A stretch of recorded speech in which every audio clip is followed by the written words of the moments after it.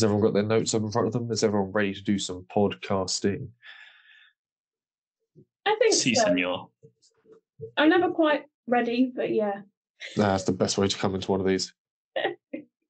never fully prepared. Yeah. Right. the. Can we make that the motto for the podcast? Never fully prepared. Hello and welcome back to the Undercut Podcast. I'm one of your hosts, Jesse Billington, and as ever, I'm joined by my two co-hosts, the itchy label to my cheap t-shirt, Thiemo Albers Daly, and the silk lining to my dinner jacket, Ellie-May Taylor. How are you both? A little offended that you keep short shafting me like that, but I'll get over it. It, it it pushes my creative writing every week to find a slightly different way of portraying you as you ought. And and yet somehow Ellie-May gets a nicer billing every time. Yeah, well, she is nicer, so I think it's only fair that it's that's accurately reflected. Yeah, I feel a little bit smug, but I'm also good. I mean, apart from tomorrow, I don't have to go back to work until the 4th of July. Oh, very nice. Hmm, Any particular reason? Of, just, uh, Independence Day. yeah, uh, I just had a lot of holiday to use up. oh, very very nice indeed. So you're going to spend that with the latest update of Ellie-May's rash corner. Yes. No fun facts, but we've got rashes. Another one, a new one. For for new listeners to the podcast, we should point out that previously we have had a section on this podcast dedicated to tracking the growth and development of a series of rashes Ellie-May had, and we've got another one, so that's fun. It- It's been a dull F1 season, we know, but it's, it's gone to this Yeah. length already. We've got to find something to talk about that's not Max Verstappen's dominancy. So Ellie-May's rashes are the the talk of the town. which also makes it sound really gross. And I just want to clarify that one of them was a, a kind of a big allergic reaction to antibiotics. The second one is um, sticky weed. Am Yeah, it, you're not just getting weird rashes because you're some sort of medical No. freak. They're generally just sort of the sort of rash you'd pick up if you just touch grass every now and then, I suppose.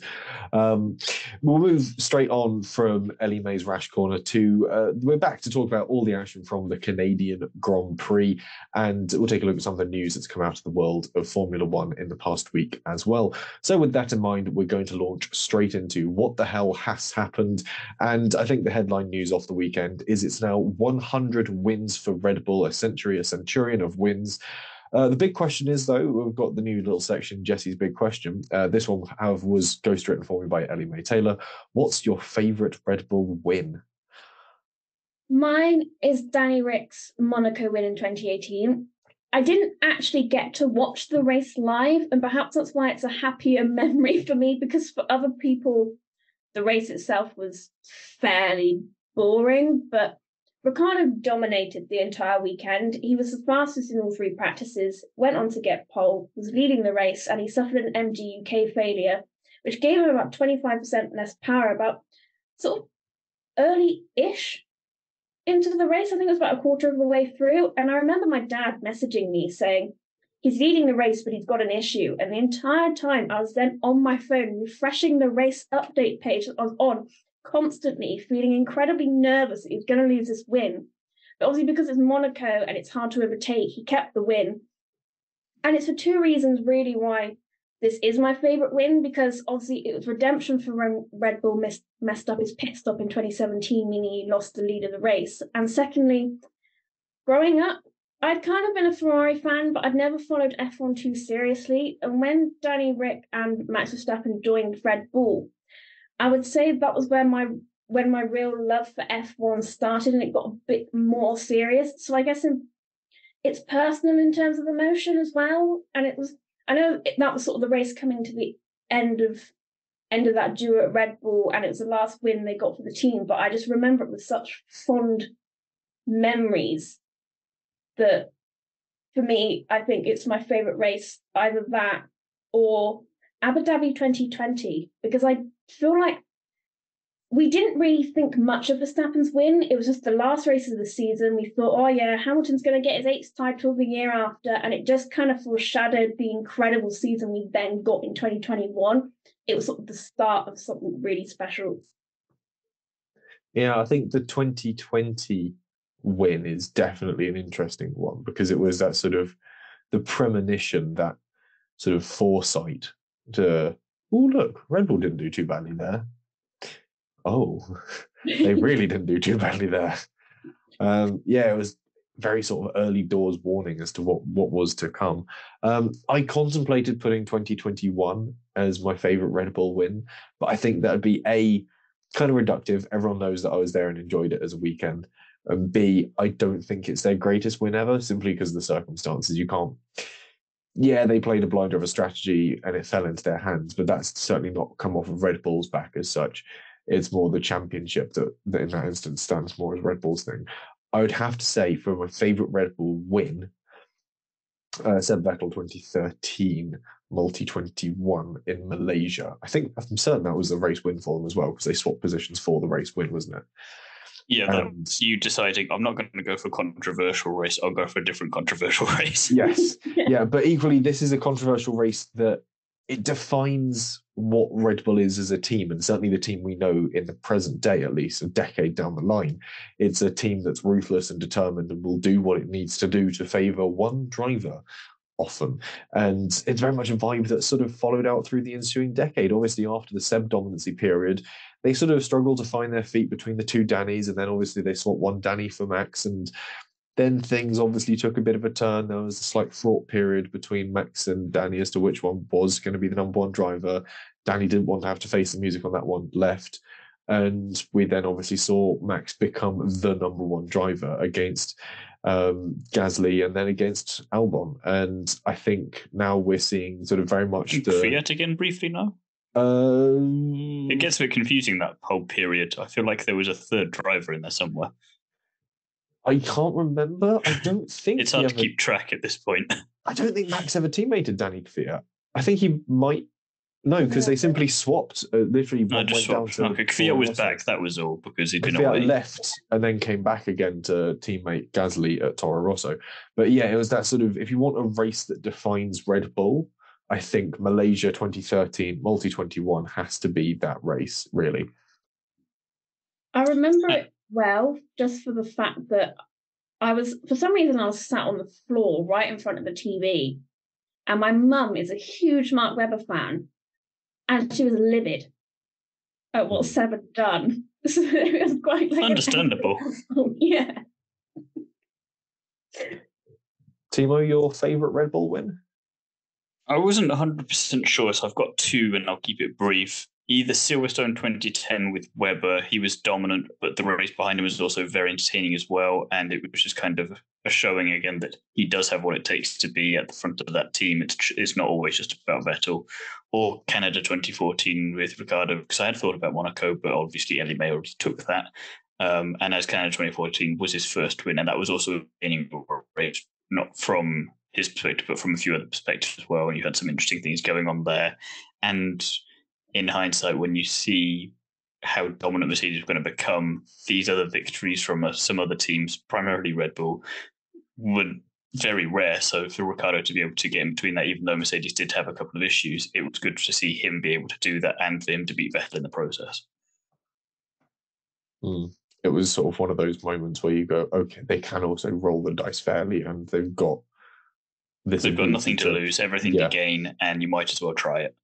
which is something they've often sort of done. They've thrown that caution to the wind and gone, we have nothing to prove. We aren't just an energy drinks manufacturer. What have we got to prove here? And that's something that someone picked up on that Christian Horner constantly says in interviews.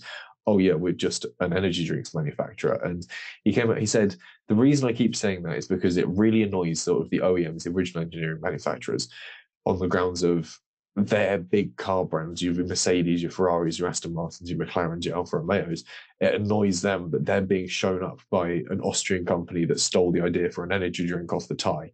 And that's that's pretty much where it stems from. And it's it's just crazy that essentially an over over expanded marketing ploy for a very sugary drink with a lot of caffeine in it has gotten to the point that it's now dominating the foremost level of motorsport. Equally as impressive, though, Verstappen matches Senna's wins. Um, both of them now on to 41 wins, I think I'm correct saying that's the number. Correct. Yeah. 41 wins. And equally, uh, Max has now led every lap of the season since lap 48 of the Miami Grand Prix. There has not been a race a lap in a Grand Prix since Miami that Max Verstappen has not led. That is 224 of them consecutively.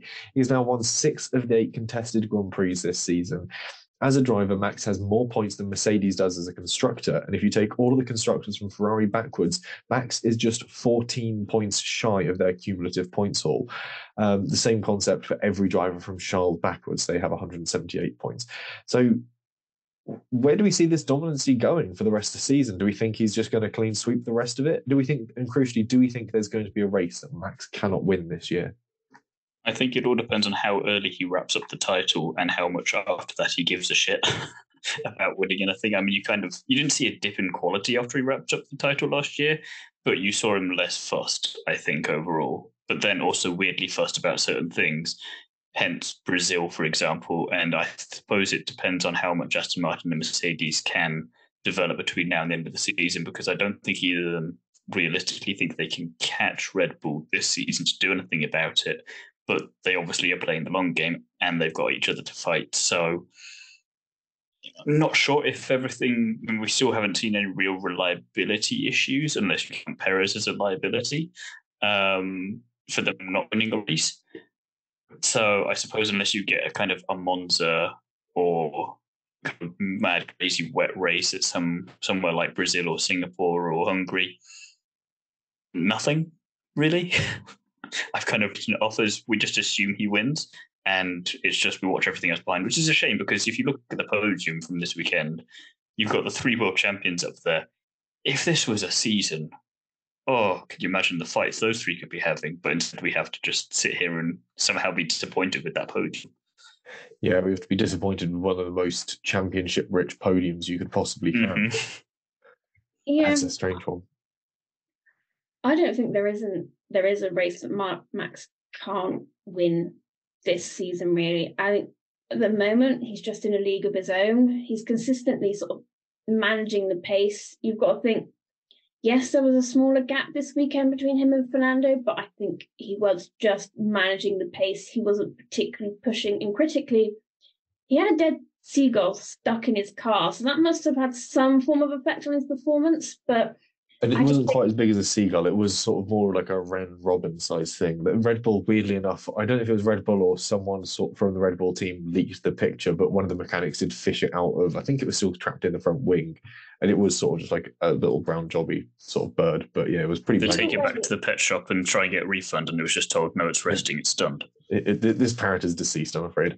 Um, Either way, I think you know that would have cost some performance and still no one could really catch him. Yes, Alonso had rear brake issues as well, but I think the pack is tightening up somewhat, but I don't think they're on Max's level yet. I guess I think it's almost my question is how quickly is he going to match Vettel's wins of 53?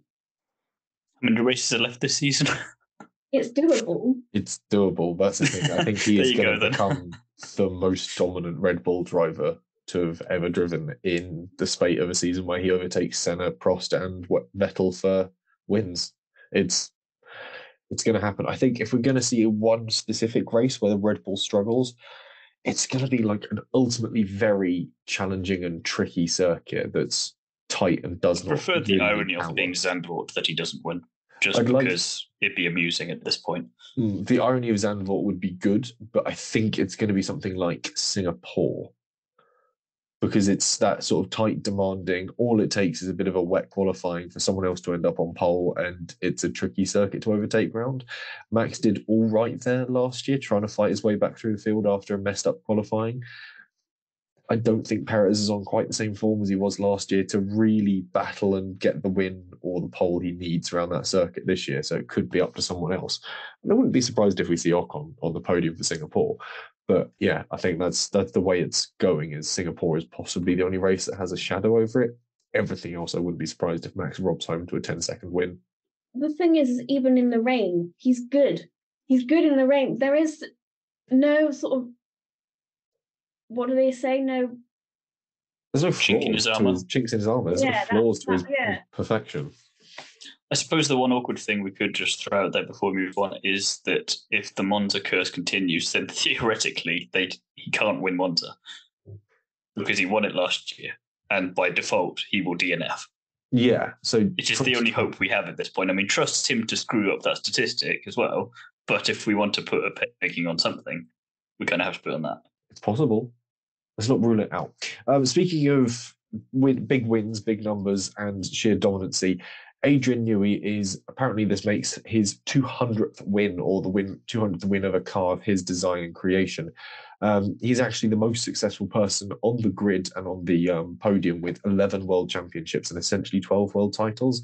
So you've got 92, 93 as doubles, 94 as just a constructor, 96, 97, 98, 99 as a driver, 2010, 11, 12, 13 as driver and constructors, 21 as a driver, and 2022 back to form of both driver and constructor titles it's kind of a tricky one to pin down because it depends on the transitional periods as he moves between teams, what work is still his on the car, what work becomes his on another car. Um, but generally speaking, it's sort of taken as 11 world championship wins and 12 drivers' titles. That is a phenomenal statistic, and that's more than Hamilton, Alonso, and Verstappen combined. If he was a constructor, he'd be one of the most successful. And yeah, when it comes to sort of that overall win number of 200, it is tricky to try and pin down because of the team transitions, gardening leave, and so on. But I think there's not many other engineers, mechanics, team principles that you tend to think of in Formula One. There are a few big names that always stand out across the decades, but Adrian Newey is one that has been standout since the 90s. I don't think there's anyone else that's achieved that level of notoriety in Formula One outside of the drivers. I think it's also worth mentioning that he pretty much hit the ground running when he joined Williams in 1991. I mean, the FW14 had already been been made, and Patrick Head, head of engineering, believed the Renault V10 engine was a very good engine, but it was the aerodynamics letting them down. They they hired Newey as chief designer, and he set about proving the FW14 to become one of the most incredible and my favorite F1 car the FW14B, and he didn't want to look at just innovating one area. They needed to create a full cohesive pa- package from front front wing to rear, and it had to be as slim as possible, which also meant trying to create an aerodynamically efficient car first, and then fit the internal structure within that. And luckily, Patrick Head was on board with this, so he designed sort of the transverse gearbox to suit the aerodynamics, and the radiators were built sort of vertically and inclined rearwards to allow the airflow to diffuse properly along the inlet duct. And it created a bigger fuel tank to feed that powerful Renault engine without sort of lengthening the chassis at all, for instance. And it meant that in some ways, Nigel Mansell was Newey's blessing and a curse because Nui wanted to create this really slimline car, but Nigel had big hips. And also, he needed to fit in the car, so they made the car around him. But when they but where they had created sort of such a powerful car that had tremendous downfalls, because we knew he also created the active suspension on this car as well, the fact that Mansell also had superb upper body strength meant he had the power behind him to really drive the car, and that's why he was able to sort of have that advantage over Riccardo Patrese and was able to win the 90, 1992 championship with five races to go. And it has to be one of the most technology technologically advanced cars we've seen in F1, and that was the first championship winning car that he designed. It's truly make crazy and mind blowing what that man can do, and I'm unsure we will ever find someone quite like him. I think he just must see air particles moving. His his eyesight must just be so incredible because then what he then joined McLaren and won in the first year that he was with them as well yeah, he sees in aeroflow, and I think when you when you mentioned this whole the whole sort of brawn of the Renault V10 in that early Williams, and the fact that it matched up so perfectly with the design of the car, the structure of the car, and equally the driver behind the wheel in Nigel Mansell, the fact that he was able to then extract that dominance over Patrese was the key element to it, and it was it was a match made in heaven. It gave Newey this chance to hit the ground running, go, okay, that works, and then immediately start developing. He never had to sort of take a backward step and go, that didn't work. What will? It was always a case of, oh, that worked, and then keep going. I think to be able to even get the very first that worked. There was never a doubt in his mind it was that is going to work. He is an incredibly intelligent man. I think that that's definitely shown in the way that pretty much every team, apart from when he joined the sport, and I cannot remember for the life of me what that first team was when he joined. Um, I'm gonna have to Google it now. That's gonna really annoy me if I don't know it. Adrian Newey. Who did he join Was F1 Mark. with? Was he? Wasn't he?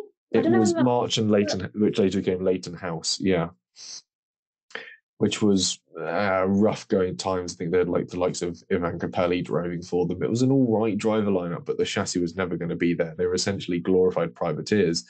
But the fact that he was able to sort of go, okay, right, I know exactly how this spec of car works, and then immediately jump into Williams and go, right, here's what we're going to do, and knowing that that's going to have the success was key. And yeah, it's just the fact that when you think of people outside drivers in Formula One, you perhaps think of, um, yeah, you, you your brain immediately goes to Newey. Perhaps of the modern era, you go to your Christian Horners, your Toto Wolffs. If you think back a little bit further, you think back to that sort of Ferrari heyday, where you look at um, Jean Todt. There you go. He's one of those names that was sort of so interwoven within the sport in the same because of the sort of role he had within the FIA, but equally the fact that he was so crucial to that dominancy we saw through Ferrari. It's sort of one of those few names outside of the pool of drivers that you immediately go, ah, that name, that means Formula One. I think Newey, for years to come, is going to be that person. He was asked over, over the weekend, when does it end? And he said, I don't know. I think we're counting down to it, but I don't know when that's counting down till. With that in mind, though, is it not his responsibility as someone who can go into a team and do this kind of stuff for charity purposes, if for nothing else, to go and fix Ferrari? Just so fix them. Make it doesn't have to be perfect. Just make them competitive enough that they can just sort out a couple of issues on the car, and then you can leave and be like, "Thank you, the thank you." Ferrari's I don't think- engineering has never been the problem. Yeah.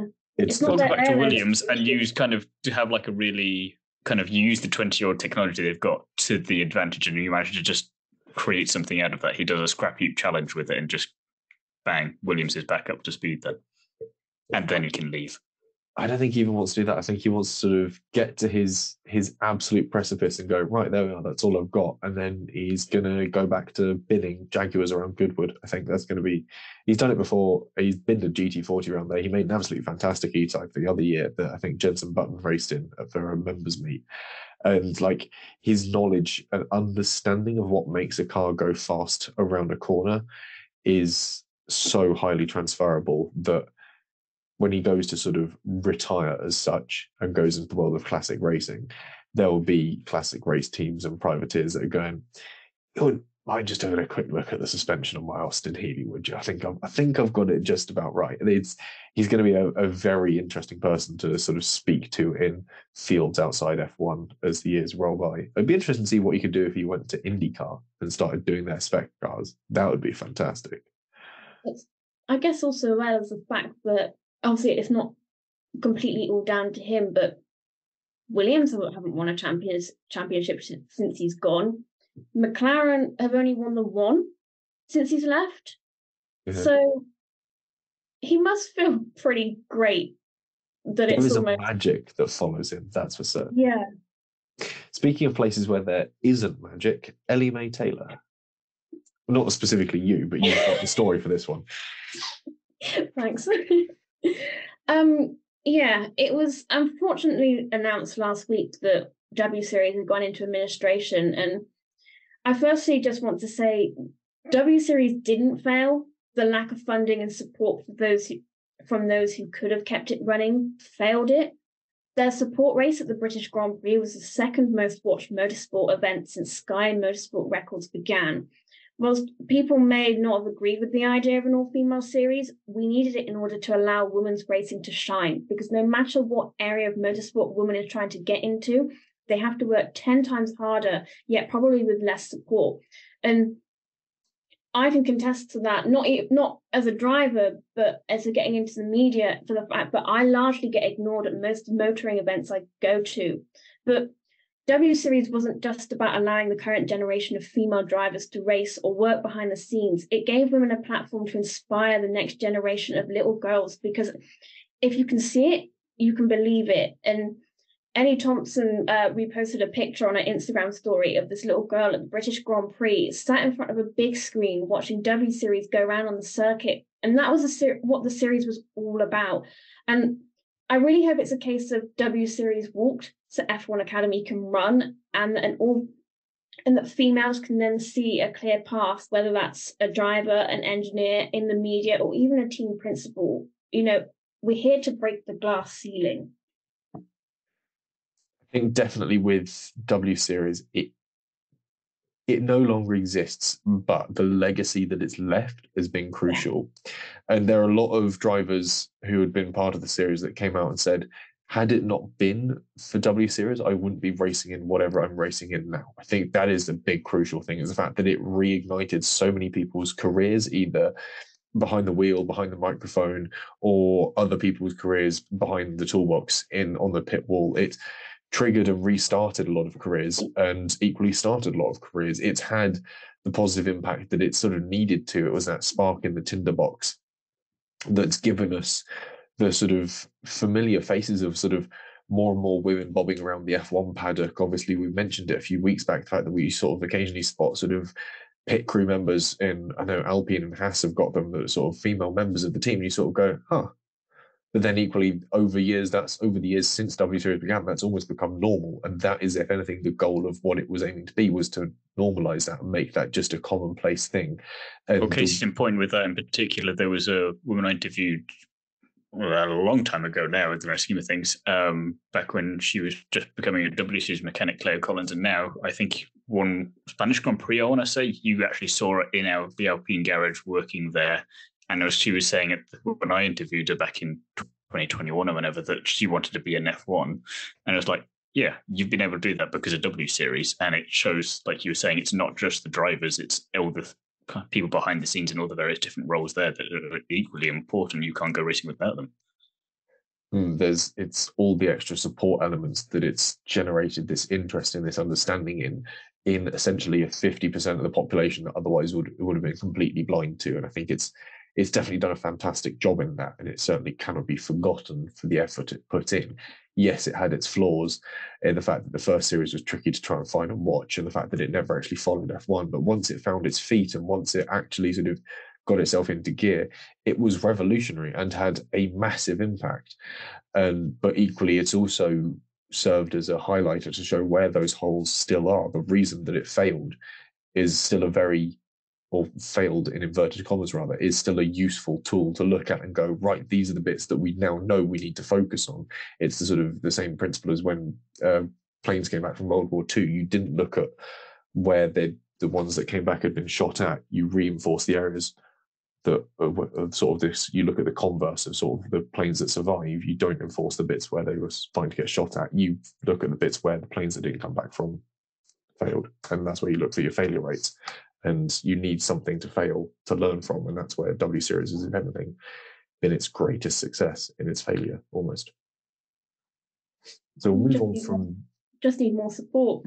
Yeah, in the fact that it just needs more support. It needs that financial backing to it that female racing series and female racing drivers never get. It is critically underfunded because people just don't want to put their money there, which is strange considering a lot of attention, especially if you put it onto the likes of the one female driver in a series. They're always going to get singled out because of the fact that they are that number one.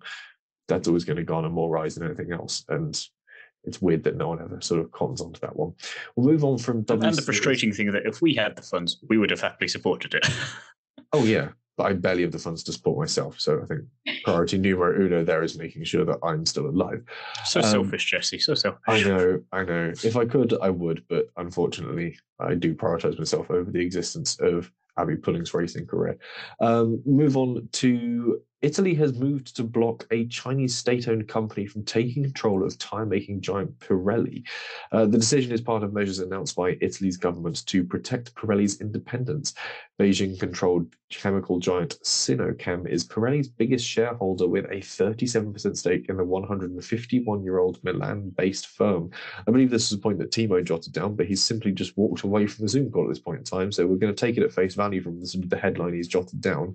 And it's interesting because there's constant tyre talks in Formula One about who's going to be tyre suppliers for years to come. We've mentioned it uh, the other uh, week on the sort of Bridgestone having a, a look at putting together a contract and it upping sort of Pirelli's idea to, I suppose, we ought to actually put together something proper this year. So it's certainly interesting that Italy has such a sort of significant stakeholder in it as well. But we'll see how that progresses and move into the actual race weekend, where FP1 was dominated by a lack of CCTV cameras around the circuit. Uh, there was simply a some sort of tech failure that meant that race control couldn't actually see anything that was happening on track beyond the TV coverage, and that wasn't enough so most of what we saw on the tellies at home was dedicated to groundhogs, and FP2 was extended to make up for the lack of running. Um, we moved on then after the practice sessions to qualifying, which was damp to start with, Inters being the dominant tyre early on, but as the track evolution kicked in and the tarmac dried out, a clever Williams capitalised on that, sending Albon out to bag P1 on the soft before the rain fell again and no one was able to challenge his time. A wet Q3 saw edgy running and a surprise Haas of Hulkenberg in P2. However, chaos in the rain and miscommunication up and down the field saw a lot of blocking on track. Sainz, Stroll, Tsunoda all received three place grid penalties, though Sainz was in a world of his own with the penalties front. What do we think about how that went down? He deserved it. Everyone was guilty of something in that one, so at least he didn't get away with it. He was dawdling around that final chicane, and I think if he hadn't dawdled, was it Yuki Tsunoda then sort of flew past him? He wouldn't have then got stuck behind him going around the chicane, which then hindered Gasly. Hmm. So he should have just really got a move on. Because haven't he done it previously as well? As maybe in a free practice or something? I'm not too sure when. It's definitely happened recently with Sainz. There's been sort of this thing of Ferrari just not telling their drivers what's actually happening behind them on track, and especially in the rain with the tiny little jiggly mirrors on F1 cars, you're going to see out. You're going to have no clue of what's coming up behind you. So that's where you're relying on your um, your engineers on the pit wall, your spotters around the circuit to sort of tell you what on earth is going on. And Ferrari just didn't bother doing that with Sainz and had to pay the price, unfortunately. However, obviously, we had the uh, grid place penalties handed out, and that led us into the race itself. Throughout the race, obviously, we saw pretty much uh, Verstappen do his usual thing of disappear off into the distance and leaving behind him Hamilton and Alonso in a tight battle. Alonso battling brake issues and possibly excessive brake wear, so using lift and coast for majority of the race. Actually, it seemed to kick in quite early on, so he was fighting against his car for a significant part of the race, but was still able to keep Hamilton behind part of being a wily old campaigner is a phrase that uh, Crofty loves to throw out there. Um, Russell clattered into the wall on the exit of the turns 8 and 9 chicane. Too much curb, bounced his car through the air, sliding wide on exit into the wall, cracked a wheel rim. So we saw him limp back home with pretty much sort of one tyre. Actually fell off as he came into the pit lane, and the Ferrari mechanic ran out and grabbed it for the Red Bull team. And there is a man in a small helicopter coming overhead. You can probably even pick that up a microphone. Just wait for him to go away. Yeah, so Russell had to pit for some repairs and was sent back out and sat at the back of the field, uh, but was still on the lead lap under safety car, so was able to actually catch up to the field and not suffer too badly there, and fought his way back through the field, but was eventually caught behind Alex Albon. Uh, the problem is, though, sat in the dirty air the overheating down the right hand side of his car as a result of it slamming into the wall eventually forced a retirement for the Mercedes driver after running in the dirty air of that Williams ahead of him. Ferrari ran long and made a risky strategy work, which is very un-Ferrari in Formula One these days. They utilized the safety car of Russell's, Russell's crash to gain vital track position, Sainz battling with Perez early on, but otherwise they were well behaved and kept things in order. Sainz's points haul against the retired Russell sees the Spaniard jump the Brit in the standings as well. And then we get on to Alex Albon, driver of the day. Wowee. He made those tyres do the most at the end of that race, defending off George behind and he, until he dropped out and Ocon caught up. Not an easy fight to do, especially in a Williams that's only just started major development from essentially last season. If the team can make the most of this and keep up the momentum, then we might see the fight at the back of the field spice up. Though in the bigger picture, they are still a long way off the lead with Red Bull already focusing energy and resources on their 2024 competitor. His points haul cannons him up to 12th place in the standings, though Norris in his uh, in 11th is five points ahead of him. Albon just needs some more decent weekends to keep ahead of Hulkenberg, who's just a point behind. Haas have historically gone well at the Red Bull Ring, but the high speeds of the circuit could favour the Williams this year. This also marks Williams' highest finishing position since the Spa Grand Prix in 2021. But if we only go by contested GPs that have gone the full distance, then the race prior in Hungary saw Latifi bag P7. The last time the Grove outfit outscored or scored higher than P7 rather was 2017, where Lance Stroll bagged P6 in Mexico. We're approaching a decade on since the team were fighting uh, for constructors' titles in 2014 and 15, where they came home third to Red Bull and Ferrari, respectively effectively. I hope we're going to see them stop licking their wounds of the past few seasons, dust themselves off, and get on with taking the fight back to the top. Aston Martin are proving that a customer team with a good driver, which I've no doubt Alex is, can take the fight to a constructor. Yeah, Alex is just knocking it out of the park and again showing that if you don't have Red Bull syndrome of having to live up to Max Verstappen and you can be left to your own devices for a bit to just breathe, then you might actually be all right with these things. And it was a shame we couldn't see more from Sargeant this weekend as well to see what he could have done in that car because he's getting a lot of flack, and I feel like it's a bit undeserved considering it's his rookie season. And we're only just nearly halfway through the first season, and he's had just a bit of bad luck on his side as well. So I think you've got a lot of potential there. And James hmm. Vowles has been very open with how dated some of the technology is, shall we say, on that car and what they need to do to improve in the future. So it does seem a little bit like they're doing the best they can with what they've got. And if you just give them a little bit more, then who knows what they'll be capable of. And it does kind of strike me a bit of Force India back whenever the hell they were. I kind of lose the years at this point because of how many names that team's had. I want to say around 2017, 2016 time. 16, um, 17, of kind of having a shoestring-ish budget, but managing to pull out some really good performances out of it, and knowing that you're not going to be able to do that week in, week out, but there will be some tracks, and that number is increasing a bit now, as we've seen if we compare over the last few years. To okay, maybe it's only one or two more a year, but one two more a year where you at least have the potential to fight, or you try these risky strategies like in Australia 2022, for example, why not try it? You've got nothing to lose anyway. And some teams like Alfa Romeo and Haas should maybe not even bother with AlphaTauri because they're in a whole league of their own in the wrong way of things. Um, they should take a leaf out of Williams' book and just a bit more throw everything at the wall and see what happens because what's the worst that's going to happen? You're not going to get points again anyway. So try it and you might get P7. I really questioned when Jost Capito left uh, because I thought, is that really what Williams needs? They kind of need stability. I didn't think Jost had really done that bad of a job. But actually, I think it was a really good move, especially getting James Vowles in, because sort of like you touched upon, he's got that experience in Mercedes that he can bring and say, you're doing this, like you're behind with your sort of equipment or whatever by like however many years, but he had that has that knowledge and experience to tell them that, and he can get them to a better place. Whilst I think if they had just kept to the way that they were doing things, they may not have had the sort of improvements that they've really been having this this season so far.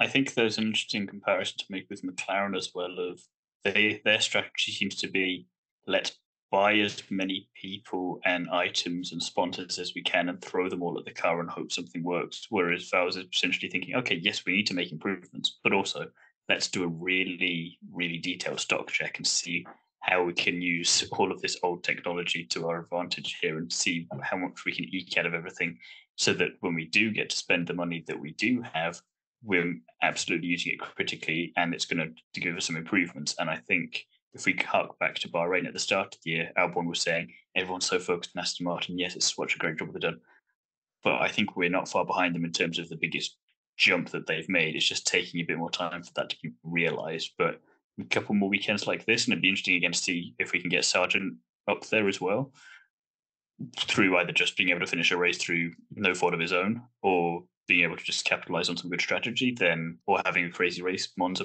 for potentially then it could be. I really wanted to get over Haas and Alfa Romeo in the constructors at the very least, and McLaren is not terribly far up the road either.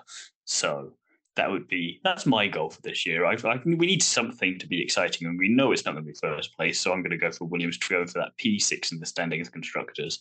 So let's make that happen, and I'll go and absolutely lose my nut if it does. Does anyone else got anything else to sort of chuck onto the points I had from earlier as well? Because I know I sort of whistle stopped my way through the Grand Prix. There wasn't a great deal to go over, bar Russell's crash, which was just sloppy. I was ranking the Grand Prix in comparison to the other ones this season. I think I've put it in like third place so far, but at the same time, that's only because the bar is incredibly low for this year, and I'm just it's such a disjointed season that it's kind of oh, it's yeah, there's not really much going for it, and it's a shame because you see Alonso on the podium for the first time in years consistently, and you see Aston Martin doing this massive leapfrog, Mercedes on the bounce back. We have a podium like this, like I was saying earlier, and yet I'm struggling to get excited for it because it just seems a bit eh. So I don't mind you whistling through the Grand Prix as such, because aside from Albon, there wasn't really much else going on, despite what F1 would have you believe. like, what a race, man. Was it? We were watching something else? Were you watching the IndyCar at Road America? Because that, that was exciting. We enjoyed that. But that, that was, that was several hundred overtakes in one race. That was something incredible. That was normal IndyCar. that was yeah, that's normal IndyCar. I need to go back and properly dig through it. I've only seen snippets of pieces here and there. I usually absolutely sort of revel in it. But unfortunately, it was the times clashed because they're both essentially coming from the same time zone. So they both sort of ran into each other on the scheduling. But yeah, it's just we're having Grand Prix this season where there's little bits to take away from, but you've got to be me. You've got to be really overly analytical and sort of dig through them to find the points, sort of come away from it and go, wasn't this exciting? One person goes, I guess. If for you exciting is Hamilton duking out with Alonso for second, it's not exactly the race win. And even the duking out nature of that wasn't too much of a duke. It wasn't a lot of. You think duking out, you think maybe Hamilton, Rosberg, Bahrain, or Leclerc and uh, Verstappen in Saudi. That's duking it out. Whereas this was like, he's getting near him. He's getting up. Up. No. He's, he's getting, getting close. Again. He's getting close. Uh, uh, no. Yeah. That was kind of the point that I wanted to make. And sorry. Maybe it was um, maybe I'm kind of like Jesse in this, and I find perhaps to other people weird things quite interesting. In that I would like to, I'd have liked to have seen all the lap times near the end that Verstappen, Alonso, and Hamilton were doing, because obviously Hamilton um, was then closing in on Alonso and then fell back, but the gap had widened between Verstappen and Alonso. So was it that Hamilton was getting slower, or that both Verstappen and Alonso were doing quicker lap times, but Verstappen was going a little bit quicker than Alonso to create a sort of a second more gap? Mm, it's I don't know. I think there was obviously Hamilton and Alonso were battling and battling faster than the field behind them, but I think Verstappen was just sort of being kept aware of it and just putting in that little bit more each time because he knows exactly how much he can demand from the car and exactly how to extract just that little bit of lap time. We saw him do it in Spain where he just sort of nonchalantly went for fastest lap and then was like, cool, that's good. I'll just hold the gap to the guy behind now. And I think Verstappen knows that he's got that ability to just sort of go, oh, there's something going on behind me. Better just leave them space.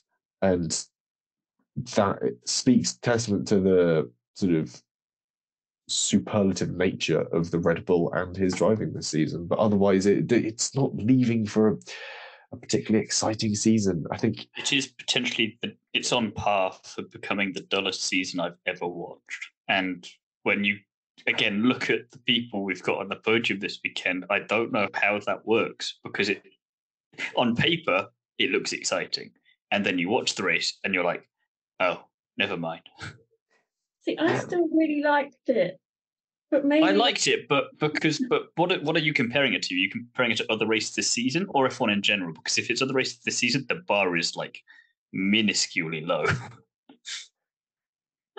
Because I get, I, I agree with you about the, quali- the qualifying laps, the essentially qualifying laps towards the end of the race between the top three. That I did enjoy seeing the fastest lap go back and forth and seeing that gap go all the time.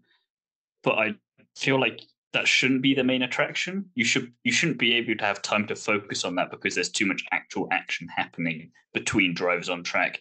And for a new generation of cars where you're supposed to be getting much more overtaking, we seem to have had a lot more DRS trains this season. It's like, okay, so why are we only getting close again? Why are we not actually getting closer racing, but we're not getting overtaking? I have to admit, I did have a lot of thoughts during that race. Like, instead of action in my notes, instead of action going on, I've instead put like, on lap 54, I was like, how Ferrari did a one stopper? Mm, Like, those yourself are my thoughts. Having you're rather kind of than having Max and. Fernando time to think in the car whilst we're going around like, oh, Lance is doing well on that overtake on this corner. No, no, focus on the driving. yeah, the the way you're engaging with the race is the same way that Max is when he's going. Is that Helmut Marko's phone going off in the back of my Mm. radio calls? Like you've got so much extra thinking capacity to sort of go. I recognize that noise. Oh yeah, that's Helmut Marko's ringtone. Also, I'm curious. What does Helmut Marko have as a ringtone that's that distinctive? I'm hoping Barbie Girl. Like he is he still stuck in that naughties vibe where I know uh, where he like ironically has Barbie Girl as his ringtone? It's Club Seven. No, I don't know. Or is he I like me and that much of a nerd where he has the F1 theme song as his ringtone? Oh, the Moby one from the ITV, maybe. Ooh. Perhaps he still has like a Nokia brick and just the, the, the standard ringtone that he got with that. Dee-dee-dee-dee-dee-dee-dee-dee. He, he, I wouldn't surprise me. That man is ancient. But equally, I reckon he's technologically advanced enough to have like an iPhone. So he's it's probably like Has one, doesn't know how to use it. yeah, that's why it's going to be stuck on like the basic iPhone ringtone. So it's going to be He like still hasn't Marimba. unlocked it. Yeah. If you know what Helmut Marko uses as a ringtone, write into us at um at Undercut Podcast on Twitter if you want to suggest Instagram. what Helmut Marko's ringtone is, also write to us. Yes, if you have any better suggestions as to what it should be, let us know. Um, The uh just the Austrian or Dutch national anthem. yeah, Austrian God. national anthem, which Dull, wouldn't? I genuinely am beginning to sort of be able to sing along to at this point, like recognize the melody and dee dee dee dee dee. And that's the Italian national anthem, which is so deeply ingrained within my soul. But every time it plays, it's sort of like being a sleeper agent, just sort of triggered by the Austrian national anthem going, Yeah, except that one doesn't wake you up. That sets you back to sleep again. goes, uh, uh, oh, I can go back to sleep now.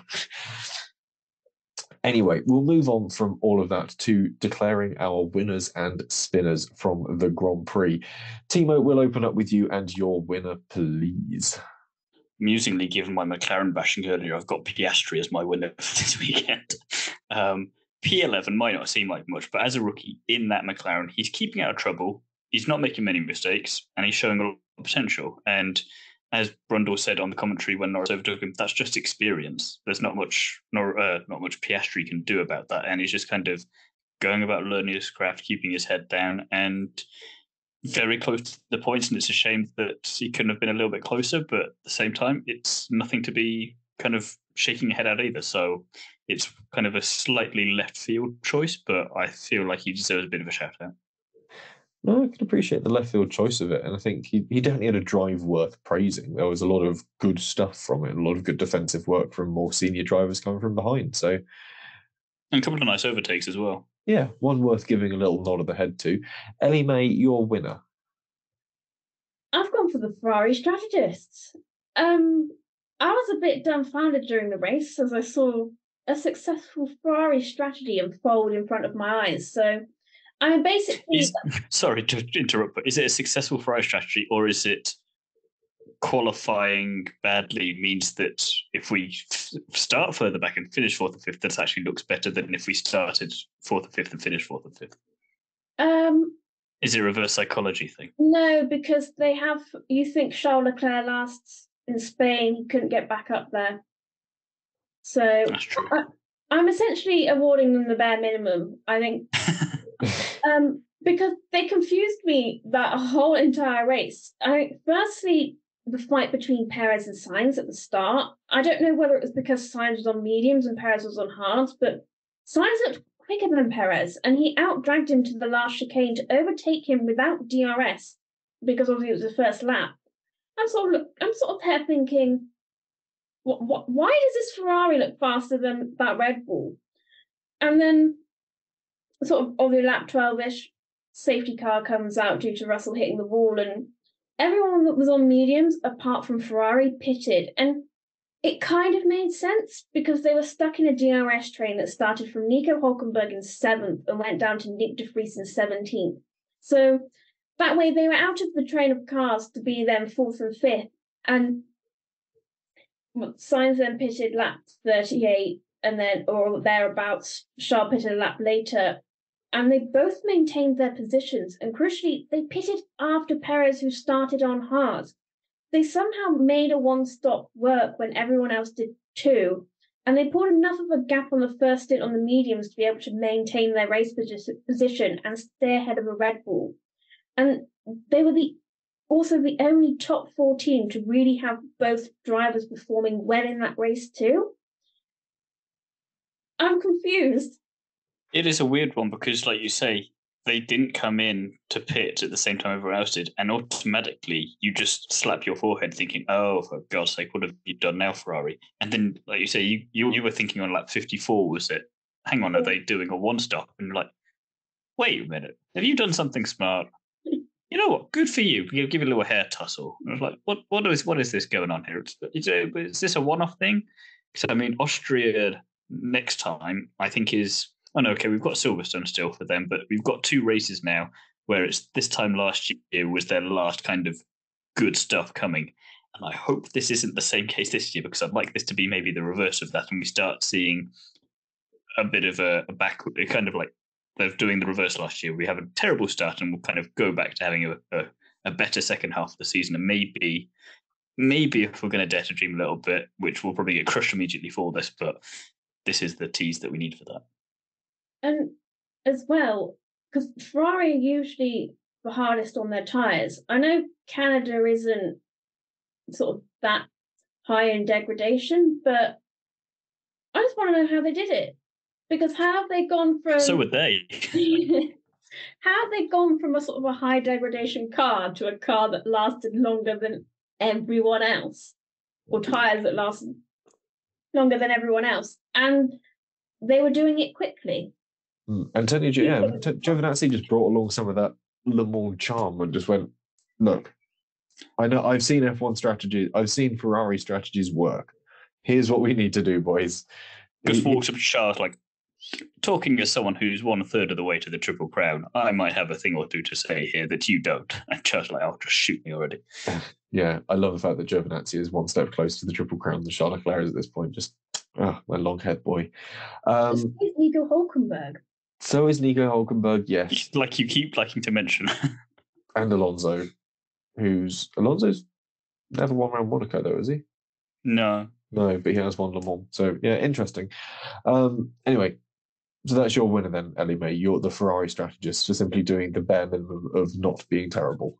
Yes. It's the it, again, 2023 is not a great season of Formula One. What I will say is, though, it has given me some food for thought on the grounds of if we were to start doing merch, little enamel pins of like awarding a winner and spin, like a winner's rosette and some sort of spinner's badge, I think would be quite funny.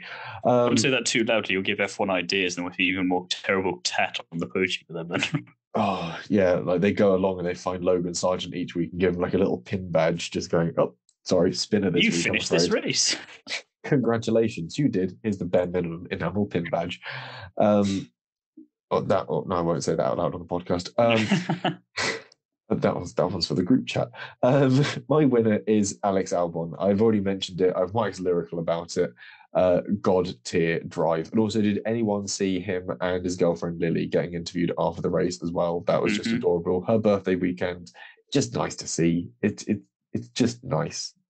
I just like having nice things every now and then. And he did well. He earned it. He deserved it, and was really having to ask a lot of that car in those final sectors because that Alpine was in a better condition, in slightly warmer conditions, probably going to have gone past. But I think that Williams just had enough speed down the straights to hold on to things. And uh, if we had a few more turns and twisty bits, I reckon the RP would have probably snuck past. So decent job there from Albon. Um, we'll go to spinners then, and we'll go back to Thiemo for this one. Perez for me. because I just guess he doesn't want to win anymore.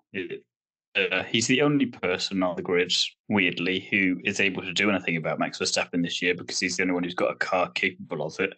And uh, despite knowing how to drive early on in the season, he seems to have either contracted kind of Mark Webber and anyone who's Max Verstappen's teammate syndrome and automatically is just suffering as a result of that and isn't allowed to do well, or he's just forgotten how to drive. And it's three races in a row now where it's just been you're meant to be the king of street circuits and this is what you're doing. It just it's a shame because it's the only kind of we genuinely thought for five glorious seconds there that we might actually have a championship battle on our hands. And he decided to take that really personally for some reason and shoot himself in the foot. So um, yeah, god awful. I mean, I know it's P6, but you're in a Red Bull for Christ's sake. It should be P2 at least. When you look at the dominance that Verstappen's extracting, he's laughing going over a curb saying he nearly knocked himself out, and Perez can't even get a P2. Yeah. No excuse. I mean, Perez hasn't been on the podium since Miami, and Verstappen's been leading every lap since Miami. I think that's that's where there's been a huge divergence in their race results. Um, yeah, one just, of these things is not like the other. Yeah, I was sort of thinking today whether it was sort of a case of um, sort of like a few years ago in that uh, the Mercedes was an excellent car to be out in front, but really struggled behind another car. But then I thought, then you remembered about Max. Verstappen's come up from the sort of was it seventh, eighth, ninth, or something in Miami. Did it again as well in Saudi Arabia, and he got he was in the lead by like lap twenty five both times. So it's not the car yeah, it was like he was down in fifteenth or something to start the my the Saudi Grand Prix. I think I should be able to pull the results up just ahead of me here. Let's have a quick. Again, share. it's my once again plug for Max to just be so dominant this year. He gets bored, retires until 2026 when he thinks there might be an actual challenge worth fighting for, and Perez gets the boot so we can have Ricciardo and any driver from being Lawson, Tsunoda, or someone else entirely in that second seat, and we actually get something interesting next year. Mm. Yeah, Max started the Saudi Arabian Grand Prix in P15, and uh, I don't think I've got a note saying when he got into the lead. Uh, it pretty early on, lap 25, uh, I think. Uh, Ellie May was right there. It's just unbelievable the form he's got. The fact that, yeah, that car can overtake. You think back to would have been 2020 when uh, we saw the Mercedes stuck in the midfield in Monza, and that was the reason we ended up with one of those sort of chaotic wins, was because the Mercedes just couldn't really fight through the field. Bottas was really struggling, and even Hamilton was finding it hard going to try and get the Mercedes anywhere near the front of the field, and that's how we ended up with that weird um, Gasly Sainz Stroll podium because the Mercedes just couldn't work their way through the field, especially if it was warm but the Red Bull doesn't seem to be suffering that ailment. So there's no excuse for Perez as such. Um, Ellie May, your spinner. I think it's a bit harsh to call him a spinner, but I've gone. He didn't for... complete the rotation, yeah. No, but I have gone for George Russell. It's it's more down to the fact that out of the top four teams at the moment, Mercedes are usually the one team that have got both their drivers up there consistently this season thus far, and Considering George was running fourth, it's a lot of points for the team to lose out when the battle for second in the constructors is still a bit unknown. So to lose out on 12 points, that's quite a lot of points. I mean, I know they've got second at the minute, but it doesn't take much for Aston Martin to get back up there, or maybe even Ferrari. The one thing I will say on that, yeah, Ferrari, that's funny. Uh, the one thing I will say on that one is that I think Mercedes will still. I don't think that's something likely that's going to repeat itself a lot. And if you look at the fight for second, Aston Martin are still driving with one hand tied behind their back, regardless, because they've got Stroll in the other car. And you look at the points difference between Alonso and him and how much is actually being contributed there. I think 12 points, it may seem like a lot, but I think that's because you're thinking of them fighting a team with two drivers. Yeah. Alonso's got to do a lot of legwork to really try and stay ahead of Mercedes. If, if this was 2024 and it was the Aston Martin lineup of Fernando Alonso and Daniel Ricciardo, then I would agree. But we're not there yet. or even the Aston Martin lineup of Fernando Alonso and Felipe um, Drugovich. Felipe Drugovich. Yeah, that would which be I would also be one. happy with. And I reckon that would be a very competitive lineup. But Stroll just doesn't seem to have gelled with it. And I don't think it helps that possibly Alonso is getting more from that chassis than actually Apparently, there. apparently Stroll said that the uh, the crowd was like having ninth gear in his car, which is probably why he was doing so badly because his car doesn't have ninth gear. Yeah, he So was it just sort of wasn't working properly. shifting up too soon wasn't getting the full acceleration. I don't know. Um, we'll go for my spinner quickly, and I've gone for Kevin Magnussen actually for this one. It was just a bit of amateur hour fighting from him against De Vries and ruined what could have been a decent result for Haas. Even if it was a little pointless, it's a chance to show the pace and developments. And equally, at the end of the day, I think that bottom end of the field is going to come to account back, and you're going to need all the positions you can get, even if they are P11s and P12s. And he might have just uh, pissed one into the wind, battling against Nick De Vries in an Alpha Tauri. Uh, not his finest hour, I don't think. It was No, just it's a poor form from Haas all over. Yeah, it was just a poor race from Haas completely. It's, Um, it's I mean, they pitted.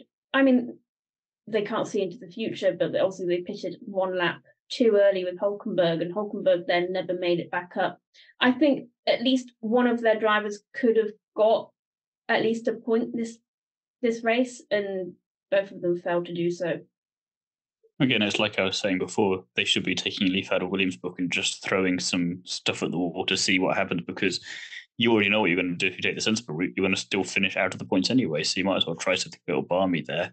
And they should have maybe done that with K-Mag, considering he was further down the grid anyway. Hulkenberg was potentially their their main one to focus on, but you knew he was never going to finish in the top five, barring some crazy stuff at the start. Um, so why not throw Magnussen on a wild alternate strategy and see what happens? Worst that happens at the end of that is that you're exactly where you were going to be anyway. Mm, you just sort of you've got to gamble it and see what happens. And instead, they, if anything, just played it too safe for their own good. Um, we'll move on from our winners and spinners to other drivers that are worth a mention. And one that I've noted down was Esteban Ocon. I think I touched on it a bit when we were talking about the Albon battle. And just a really solid drive from him to chase down the battling packs ahead, get back into the points. And it wasn't as good a pit strategy it could have been from Alpine. I think they were a little too preoccupied with trying to rectify Pierre Gasly's race at certain points, but Ocon managed to make it work and got the most out of it that was possible, got into the right position and held off a hard pushing Norris behind, who was also on far, far younger tyres as well. Ocon's tyres were by no means as bad as Albon's, but they were still pretty dead by the end of the race. So the fact that he was able to keep Norris behind in a race where the McLarens almost looked faster than the Alpines was a pretty good show. My, my only thing to counter that is on the podium in Monaco, then can't overtake Williams. I think this was very circuit dependent. I'm I just think- saying. The Williams had its advantages in the right place to be able to defend against a middling car. If it had been another car, I'm still surprised. The fact that you've also got to bear in mind that the Mercedes of George Russell couldn't get past the Williams. Like, Damaged Mercedes that kept going out of the dirty air because it would overheat and go kaboom if it stayed there too long. yeah, which sort of puts it on Whereas what's Ocon's excuse? mid-tier. What part of his car was damaged? chassis. No, but it's that argument of once you level that playing field, you can see exactly where, where and why potentially that Williams was able to form the queue it did behind it, and yeah, I think ultimately it had just about enough of the right stuff in the right places to start forming that giant train of people behind him, and I think they certainly got Ocon should have still been able to get past. ultimately at the end of the day probably should have done. But uh, also that williams was just the right car for that circuit at that right point in time. And i think it also had the advantage of alex albon in it who Are you saying he's a better driver than Esteban Ocon? i would possibly say as much i would certainly say that defending is his strong suit more so than attacking alex Boy, I know Albon's Ocon's defense- attacking is like, to be fair. yeah, mostly his teammates, um, all being attacked by Max Verstappen, but that's a different matter entirely. The fact of the matter is that Alex Albon is a really strong defensive driver. We never saw that so much as an offensive driver. That was why whenever he sort of never had a strong qualifying, we always sort of saw him struggle to work his way up the field in that Red Bull. But if he started the front, he was often able to cling on to places a lot better than anticipated. So it's possibly more driver than anything else there. Has anyone else got a driver to chuck into that field of worth a mention? No, but I was just going to add that I think for some reason this circuit was just difficult to overtake on. No one really overtook. I mean, you think early on in the race when Nico Hulkenberg was in seventh, everyone was stuck in a DRS train down to 17th. So, you know, whoever was in eighth, would it have been Is Oscar? that the is that the track or is that the cars being so bloody big and only able to get close but not quite there? With the Maybe it's because of all the rain, it was a dirty track. You go offline and it suddenly really hampers you. That was where I was going to go next as well. The fact that the track offline is incredibly green. There hadn't been a lot of, well, obviously Q3, FP3 had been all right ish, but then obviously we had a huge deluge through the tail end of qualifying that basically reset the circuits. All of a sudden, you had no feeder series going around, just Ferrari's like uh, sports car series and Formula Ford Canada, which is hardly one for sort of smearing rubber across the surface of the circuit. So you've got a very, very unrubbered in circuit that was ultimately not going to give fantastic racing and chances for overtakes. It just not had had anyway. I just hate blaming the tracks for it when it's the when I feel like it could be if they just designed the cars or used slightly different tire compounds or some kind of thing on that one. I feel like you could have had something something more exciting there. I don't like blaming the tracks.